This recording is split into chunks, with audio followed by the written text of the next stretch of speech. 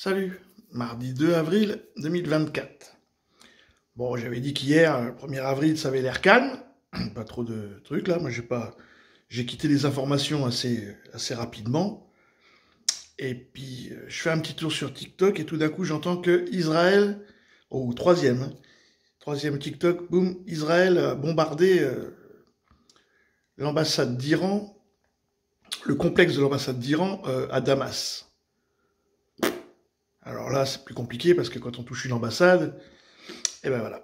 La frappe euh, aérienne attribuée à Israël qui a visé un local de l'ambassade d'Iran cet après-midi en plein cœur de Damas en Syrie. Bilan 8 morts. Les victimes sont des membres importants euh, des gardiens de la révolution de la force Al-Quds, qui est la force militaire déployée à l'étranger par le régime iranien. Israël, évidemment, se prépare à une éventuelle riposte de l'Iran. Voilà, nouveau point dans un instant. Voilà. Et donc, en fait, ils ont tué deux généraux euh, des gardiens de la Révolution.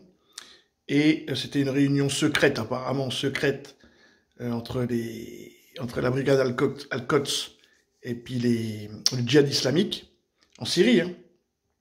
Et donc, ils ont bombardé. Donc, ben, l'Iran a dit qu'ils vont faire là, on ne sait pas, hein, demain, après-demain, une frappe, enfin une, riposte décisive. ça, dit, ça veut dire ce que ça veut dire. Et donc en fait, ce que font, qu'est-ce que fait Israël? Israël force euh, l'Iran à répliquer pour faire rentrer les États-Unis dans la guerre.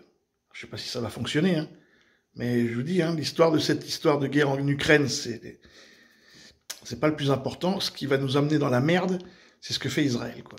Mais ça, tout le monde le sait. Pourtant, on ne peut rien faire. Hein. Ils ont fait ils ont fait une opération dans un hôpital. Enfin, c'est, c'est, sais pas comment on va arrêter ces gens-là. Ça va être difficile. Hein.